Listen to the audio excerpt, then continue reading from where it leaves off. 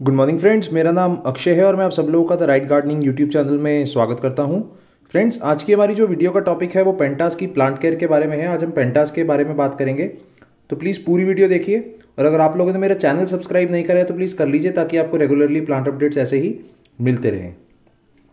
तो आइए शुरू करते हैं फ्रेंड्स पेंटास का ये वाला जो प्लांट मेरे पास है, ये लाइट पिंक कलर का फ्लावर आता है इसमें। पेंटास के वैसे काफ़ी सारी वेराइटीज़ आती हैं फ्लावर्स की, जिसमें येलो पिंक डार्क पिंक और रेडिश भी आते हैं जो बहुत सुंदर लगते हैं। तो मैं आपको एडवाइस करूँगा, जब आप पेंटास लेने जाएँ किसी भी प्लांट नर्सरी से तो आप दो तीन पेंटास लेके आए और उसको एक साथ लगाएँ तो वो बहुत अच्छा लगेगा। क्योंकि इसकी जो लीव्स होती हैं, वो बहुत ही लश डार्क ग्रीन कलर की होती है और इसके जो फ्लावर्स होते हैं, वो स्टार के फॉर्मेट में ग्रो करते हैं। ये देखिए, जैसे स्टार की तरह छोटे छोटे स्टार आए हुए हैं ये। इजिप्शियन स्टार के नाम से भी जाना जाता है इसको। और ये इसी तरीके से ब्लाइट ब्राइट फ्लावर वो करते हैं आते हैं इसमें। और उसी के हिसाब से इसका नाम रखा हुआ है।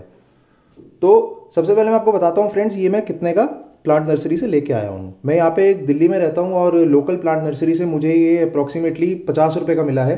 पचास रुपये का ये मैं पौधा लेके आया हूँ और इसको ला के मैंने ये आठ इंच के गमले में लगा दिया है। आपने जब इसको गमले में लगाया हुआ है तो इसकी जो हाइट होती है वो दो से ढाई फुट तक जा सकती है और अगर आपने इसको ज़मीन पे लगाया हुआ है तो इसकी हाइट चार से साढ़े चार फुट तक जा सकती है, क्योंकि ये ये श्रब की तरह, एक झाड़ी की तरह ग्रो करता है। तो सबसे पहले मैं बात कर देता हूँ फ्रेंड्स इसकी सनलाइट के बारे में। इसकी लाइट रिक्वायरमेंट्स कुछ इस तरीके से हैं कि आप इसको डायरेक्ट सनलाइट में भी रख सकते हैं, लेकिन आपने मई, जून की डायरेक्ट सनलाइट में नहीं रखना और आफ्टरनून शेड से अपने पौधे को बचाना है। तो अगर आपके घर में सुबह की दो से तीन घंटे की थोड़ी धूप आती है तो आप ऐसे लोकेशन पे इस प्लांट को रख सकते हैं। इसको बहुत ज़्यादा ब्राइट सनलाइट में नहीं रखना, क्योंकि इसकी जो फ्लावरिंग है, वो समर सीज़न में थोड़ी कम हो जाती है।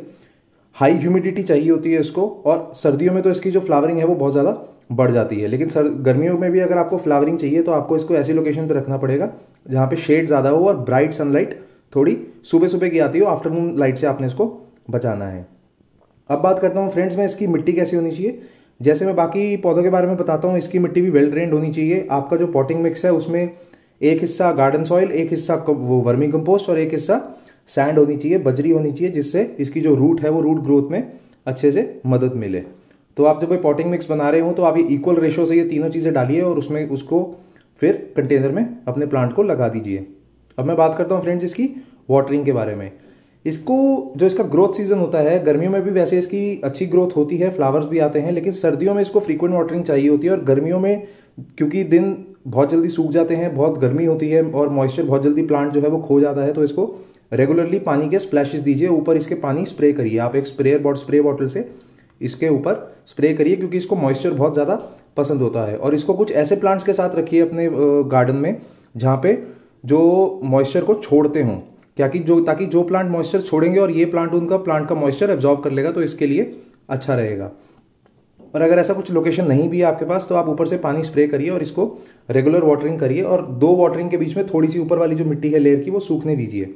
सौगी मत बनाइए मिट्टी को, दलदली नहीं बनाना आपने। वेल ड्रेन रखना है और जो पूरा मॉइस्चर है वो मेंटेन्ड होना चाहिए, तभी जो आपके फ्लावर्स हैं वो अच्छी तरीके से ग्रो करेंगे। अब मैं बात करता हूँ फ्रेंड्स इसकी फर्टिलाइजेशन के बारे में। वैसे इसको कोई हैवी फर्टिलाइजेशन नहीं चाहिए होती, लेकिन अगर आपको बहुत सारे फ्लावर्स अपने पेंटास पे ग्रो करने हैं तो आप इसको हर पंद्रह दिन में एक ऑर्गेनिक फर्टिलाइज़र दे सकते हैं। गोबर खाद दे सकते हैं या वर्मी कंपोस्ट भी दे सकते हैं। आप बनाना पील फर्टिलाइज़र भी यूज़ कर सकते हैं हर पंद्रह दिन में। और लिक्विड फर्टिलाइज़र में कोई नहीं दूँगा। अगर आपने कंपोस्ट टी बनानी है तो आप कंपोस्ट टी बना के भी दे सकते हैं, लेकिन मैं पर्सनली बताऊँ तो मैं हर पंद्रह दिन में इसमें वर्मी कंपोस्ट डाल देता हूँ, जिसमें इसमें अच्छी तरीके से अभी ग्रोथ हो रही है। ये देखिए, नई कली भी आ रही है और ये दो फूल खिल रहे हैं। तो ये थी हमारी फर्टिलाइजेशन की बात फ्रेंड्स अब मैं बताता हूँ इसमें पेस्ट के बारे में। इसको आप रेगुलरली सोप सोल्यूशन या नीम का जो ऑयल है, उसका स्प्रे करते रहिए, क्योंकि पेंटास में मॉइस्चर हाई होने की वजह से कीड़े बहुत ज़्यादा जल्दी लगते हैं और उसके जो लीव्स हैं, उसको फंगल इन्फेक्शन बहुत जल्दी इफ़ेक्ट कर सकता है, क्योंकि ये हाई मॉइस्चर प्लांट है, इसमें ज़्यादा से ज़्यादा लोग पानी स्प्रे करेंगे तो इसमें कीड़े लगने की जो संभावनाएँ हैं, वो बहुत बढ़ जाती है। तो आप इसमें रेगुलरली या तो सोप सोल्यूशन स्प्रे कर दीजिए या नीम ऑयल का स्प्रे करिए, ताकि इसमें जो कीड़े हैं, वो नहीं लग पाए। एक और चीज़ मैं आपको बताऊँ फ्रेंड्स इसमें जितनी भी स्पेंट फ्लावर्स हैं, जो फूल खिल के मुरझा चुके हैं, उनको आप तोड़ दीजिए डेड हेडिंग कहते हैं उसको, जैसे यहाँ से मैंने वो फूल काट दिया था। तो अगर आप ऊपर से भी नहीं काटना चाहते तो आप यहाँ से जो है, यहाँ पे कट मार सकते हैं। ये देखिए, यहाँ पे इस टहनी से मैंने कट मारा था यहाँ पे। तो यहाँ से फिर ये साइड से दो ब्रांचेज निकली थी। तो अगर यहाँ पे फूल आ चुका है तो अब ये जो ब्रांचेज ब्रांच है, मैं यहाँ से थोड़ी सी काट दूँगा, ताकि न्यू ब्रांचेज को वो मिले ग्रोथ मिले, और वहाँ पे फिर और फ्लावर्स आए। डेड हेडिंग का ये फ़ायदा होता है फ्रेंड्स अगर आप एक मेन ब्रांच काट देते हो तो उसके साइड से दो न्यू ब्रांचेस निकलती हैं, जिससे आपका जो प्लांट है वो ज़्यादा बुशियर बनता है और ज़्यादा फूल उसमें आने के वो चांसेस बढ़ जाते हैं। तो ये थी हमारी वीडियो फ्रेंड्स पेंटास की प्लांट केयर के बारे में। अगर आपका इसके प्लांट के बारे में कोई भी क्वेश्चन है तो प्लीज़ कमेंट सेक्शन में ज़रूर पूछिए।